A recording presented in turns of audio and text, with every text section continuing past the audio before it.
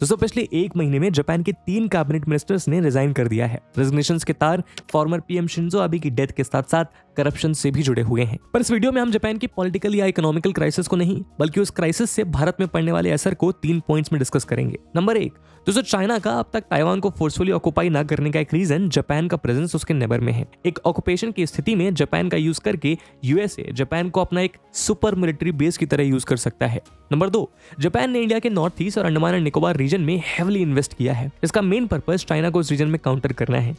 Strategic investment के अलावा Japan India की आईटी और स्टार्टअप इंडस्ट्रीज़ पर भी बहुत ज़्यादा ट्रस्ट करता है। उदाहरण के लिए 2016 से 2020 तक जापान ने इंडियन आईटी सेक्टर में 9.2 बिलियन डॉलर्स इन्वेस्ट किए हैं, जिससे लगभग 1.02 लाख जॉब्स क्रिएट हुई हैं। दोस्तों मेंशन पॉइंट्स के अलावा वो और कौन से पॉइंट्स हो सकते हैं जहाँ पे एक अनस्टेबल जापान भारत के फेवर में नहीं जाएगा? कमेंट सेक्शन में ज़रूर बताइएगा। और ऐसे ही पर्सपेक्टिव ड्रिवन वीडियोस के लिए फॉलो करें आदर्श गुप्ता को।